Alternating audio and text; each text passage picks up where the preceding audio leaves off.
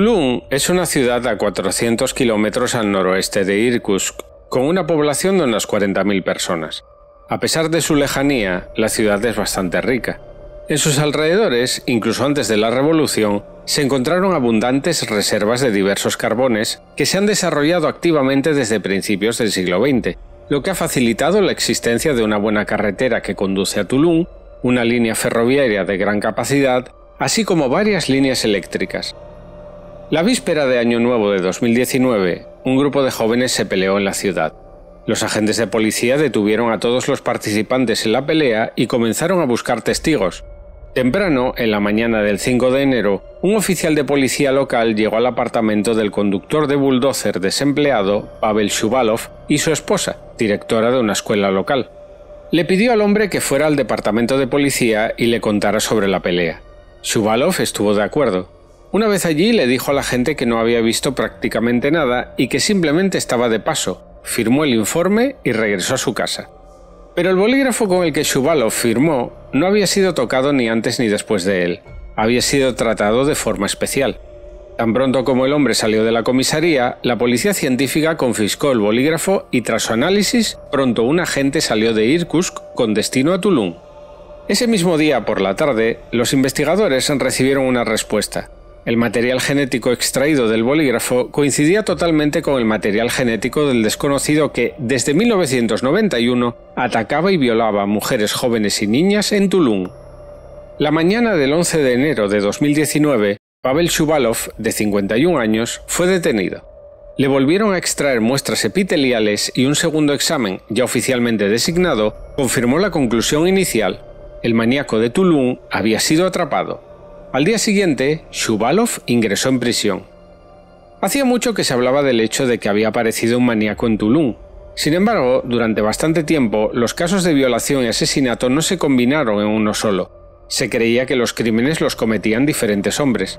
Pero el criminal tenía un método de acción. El hombre atacaba a la mujer por detrás, le apretaba la garganta con el brazo izquierdo, le ponía un cuchillo en el costado derecho y la conducía a un edificio abandonado o entre unos arbustos. Los crímenes se cometían temprano en la mañana o tarde en la noche.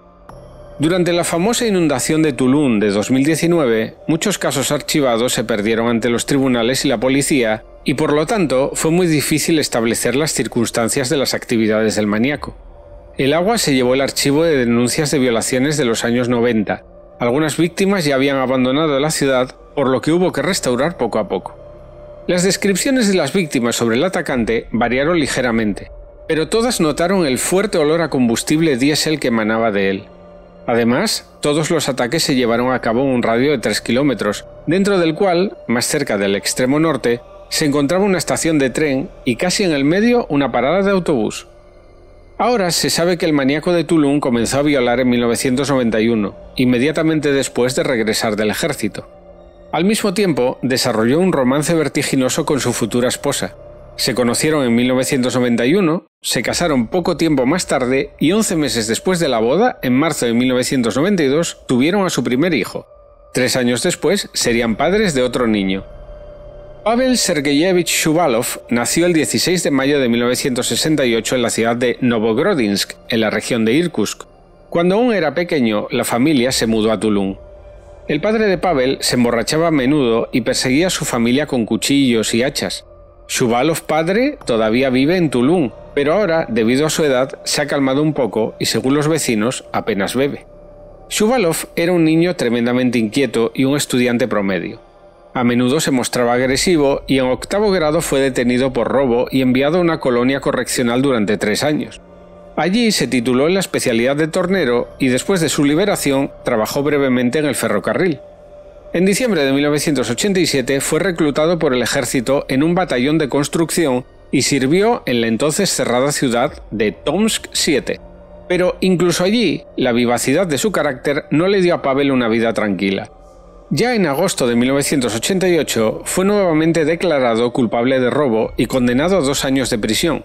Esto era inusual para el ejército soviético, para que un miembro del batallón de construcción que había servido durante menos de un año fuera enviado no a un batallón disciplinario, sino a un correccional, había que hacer algo muy especial.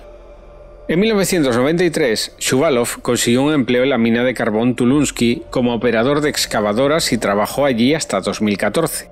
A sus superiores les resultaba difícil no recordarlo.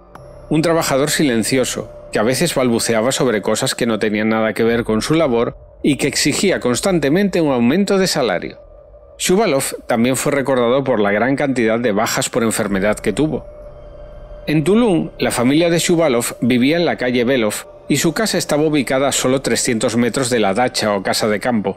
Esta es una característica de las ciudades con un gran sector privado. Durante los registros en ambas direcciones, los investigadores confiscaron 23 cuchillos. Siempre llevaba consigo navajas plegables, algo que consideraba normal. Shuvalov también tuvo una historia de amor con el alcohol.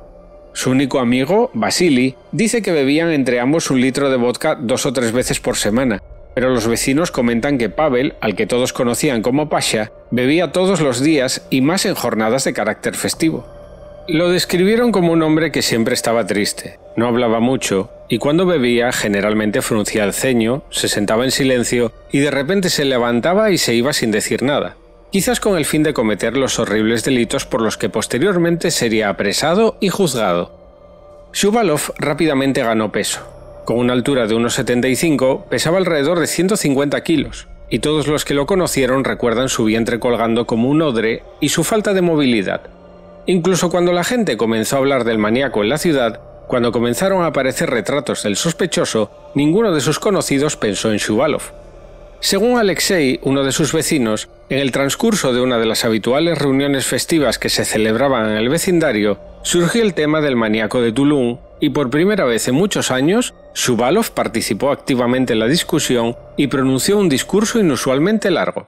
Sus palabras ofendieron a Alexei, pero todavía nadie sospechaba de él como el posible criminal.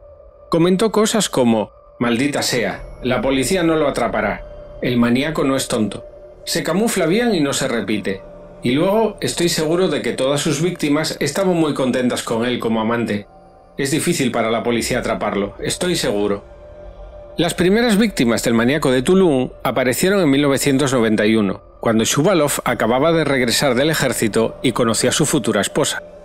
Al principio los ataques eran puntuales, pero luego se hicieron más frecuentes. En 2014, el nuevo jefe del Departamento de Investigación del Comité de Investigación de Rusia para la región de Irkutsk, Andrei Bunev, examinó los casos penales no resueltos en los últimos años. Bunev trabajó durante dos décadas en el territorio de Krasnoyarsk, investigando y enviando a los tribunales, entre otras cosas, más de 35 casos de asesinos en serie, aquellos en los que el número de víctimas superaba las 10 personas. En ese momento había 2.225 casos sin resolver. Era imposible estudiarlos. Había muchos crímenes en curso, pero logramos revisarlos. Y la obvia serie sobre violaciones me llamó inmediatamente la atención, al principio intentamos solucionarlo con la ayuda del distrito, pero rápidamente nos dimos cuenta de que era ineficaz, y llevamos todo este material al departamento para investigar casos especialmente importantes, comentó Bunev. La investigación fue confiada a Yevgeny Karchevsky, teniente coronel de justicia, investigador de casos especialmente importantes del Comité de Investigación de la región de Irkutsk, según Karchevsky, los investigadores comenzaron a analizar los materiales y seleccionaron 33 casos penales con características similares. Empezaron a trabajar recogiendo los resultados de los exámenes y formando un círculo de sospechosos. En primer lugar, comprobaron quiénes podían oler a combustible diésel, principalmente conductores de locomotoras y conductores de camiones cisterna. Pero aquí Pavel Shuvalov tuvo suerte.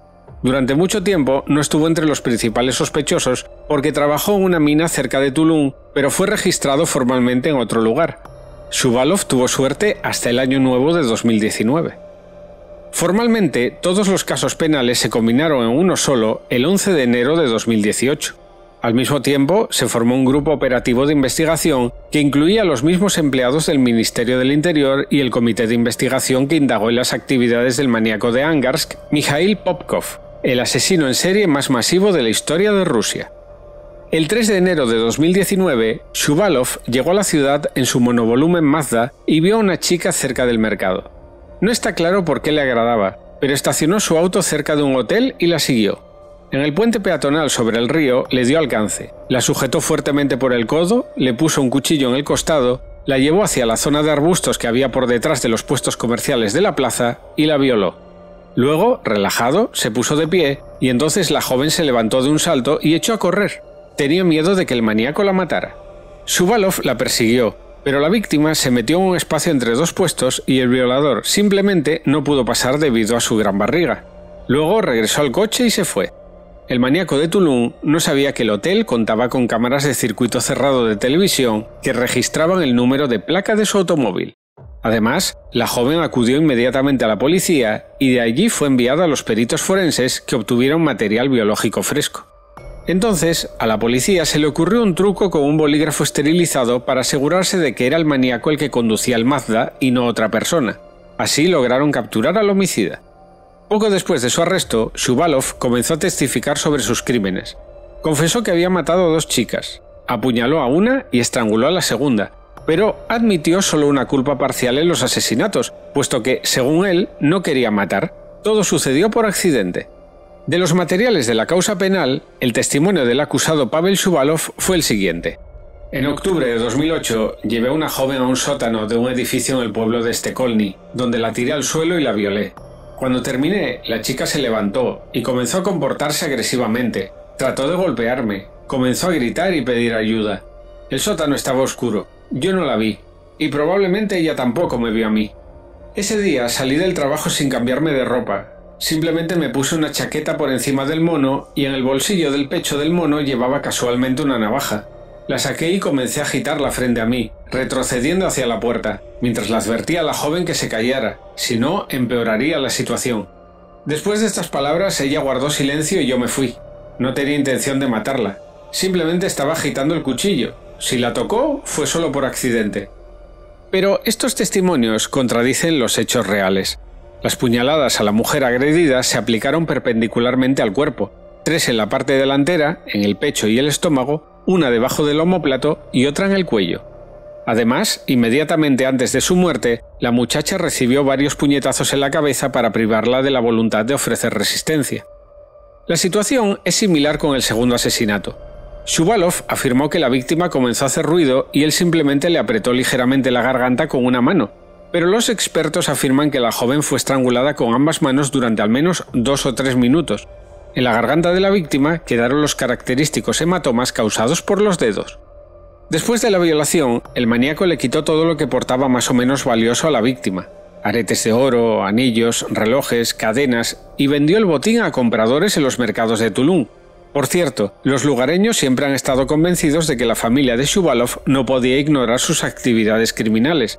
Hablando de esto, Alexei, el vecino del maníaco, comentó lo siguiente. Los Shuvalov iban a centros turísticos todos los años para relajarse en familia. Está claro que el salario en la mina de carbón es alto y su esposa ganaba bien, pero de todos modos, la casa requiere dinero. Estos detalles no pasan desapercibidos para una esposa normal. Ella lo sabía todo y lo encubrió durante muchos años. Tenía miedo de la vergüenza. Los criminólogos dicen que los asesinos seriales mejoran constantemente la naturaleza de sus acciones basándose en la experiencia, Shuvalov actuó exactamente igual a lo largo de los años. No ha mejorado ni en la vida ni en la actividad criminal, comentó Yevgeny Karchevsky. El jefe del Comité de Investigación de la región de Irkutsk, Andrei Bunev, señala que hay un elemento de descuido en el hecho de que delitos que tenían bastantes elementos comunes en Tulum no se combinaron en una sola investigación durante mucho tiempo. Según explica Bunev, en los años 90, debido a la situación socioeconómica, disminuyó el interés por los resultados de las actividades operativas y de servicio, y a principios de la década de 2000, los investigadores simplemente no tuvieron tiempo de analizar todos los casos. Entonces se registraban entre 1.200 y 1.500 asesinatos cada año en la región de Irkutsk. Esto, por supuesto, no justifica a nadie, pero no hay otra explicación. El trabajo se realizó durante mucho tiempo de forma poco profesional. Pero no se trata solo de los errores de los agentes del orden. Según los damnificados, el maníaco de Tulum fue reconocido por sus víctimas varias veces y cada vez que lo veían gritaban, pero nadie reaccionó ante esto. De los materiales del caso penal se extrajo el siguiente testimonio de una de las víctimas. Fui violada en 2004. Acudí inmediatamente a la policía y se abrió una causa penal. Ya a finales del otoño de 2006 o 2007 volví a casa desde la escuela técnica en autobús y el mismo hombre que abusó de mí se sentó a mi lado. En realidad, primero percibí ese olor desagradable, luego lo miré y lo reconocí de inmediato. Además, vestía la misma ropa. Empecé a gritar que era un maníaco, pero ni una sola persona en el autobús reaccionó. En la siguiente parada me bajé rápidamente y caminé a casa. Lloré todo el camino. Después del arresto de Shuvalov, durante las acciones de investigación, una de las víctimas llevó al equipo investigador a la escena del crimen. En 2010, un maníaco la atacó cerca del centro comercial Raduga y la violó entre los arbustos a escasos 200 metros de las casas vecinales. En su testimonio, la joven declaró, Grité, pedí ayuda, pero nadie respondió y un par de días después, en el autobús, escuché a una mujer decirle a otra Anoche no dormí bien. Debajo de mi puerta alguien gritaba como si la estuvieran violando. Me dificultaba conciliar el sueño. Di vueltas y vueltas la mitad de la noche. Al escuchar esto reaccioné y allí en el autobús comencé a gritar histéricamente Era yo. Me violaron. ¿Por qué no llamaste a la policía? Durante la investigación, resultó que el dueño de una de las casas cercanas al suceso salió a la calle y se aproximó al lugar del incidente, pero inmediatamente regresó a su casa. Sin lugar a dudas, esto es lo más sorprendente en el caso del maníaco de Tulum, la indiferencia que rodeaba al violador y sus víctimas. Muy a menudo, inmediatamente después de la violación, el maníaco se quedaba dormido justo encima de la víctima. Esto también es un rasgo característico de sus crímenes. Los psiquiatras forenses creen que esta es la respuesta del cuerpo a la relajación. Los expertos que examinaron a Shuvalov después de su arresto lo declararon absolutamente cuerdo, pero revelaron un trastorno mental, la raptofilia. Su esencia es que un hombre solo puede excitarse cuando una mujer tiene miedo y suplica piedad. El maníaco de Tulum atacó a las primeras personas que encontró. No le importaba su aspecto. Entre sus víctimas había niñas de 13 años, adolescentes de 17 a 18 años y mujeres adultas de 30 a 40 años. A él no le importaba. Una mujer es una mujer. ¿Por qué escucharla? repitió Shuvalov muchas veces durante los interrogatorios. Según la investigación, varias de las víctimas no habían tenido ninguna experiencia sexual antes de conocer al violador. Como señala el teniente coronel Karchevsky, afortunadamente, hoy en día, todas las víctimas del maníaco de Tulum están mentalmente sanas. Ninguna se volvió loca. Casi todas se casaron con hombres normales y dieron a luz a sus hijos. Pero todas las víctimas se pusieron histéricas durante las acciones de investigación, y cada una, a pesar de los años transcurridos desde el crimen, recuerda con precisión los pequeños detalles de lo sucedido, desde las acciones hasta el olor del violador. Por eso Pavel Shuvalov quedó expuesto. No tengo antecedentes penales, así que no hablaré de eso, dijo el maníaco de Tulum en una conversación con un corresponsal de la revista rusa Lenta.